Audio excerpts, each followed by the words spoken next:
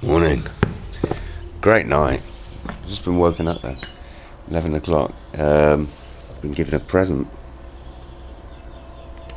Some modern footwear.